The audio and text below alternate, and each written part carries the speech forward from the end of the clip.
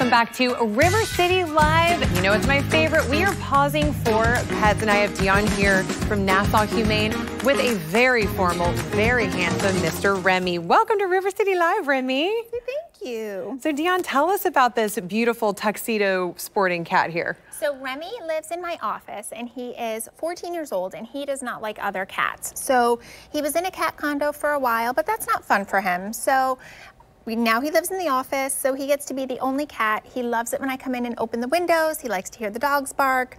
I put a screen up so he doesn't run through it, and he just kind of hangs out. He purrs, he sits on my lap. He does all the cat things. Um, he doesn't bite, but he will give you love, you know, little nibbles when he's not done being petted by you yet.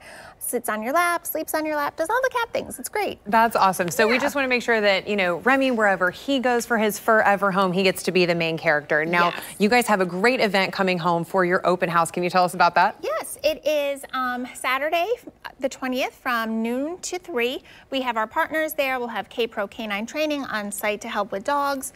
Um, we are doing free adoptions for all adult animals. Um, Remmi will be there unless he gets adopted by then. Which is um, totally fine. it's okay.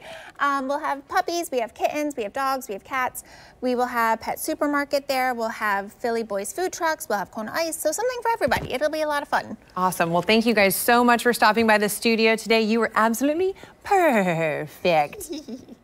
All right, thanks for having us. I was like, make sure you check out Nassau Humane if you're looking for a furry friend in your life. Now let's see what's coming up next.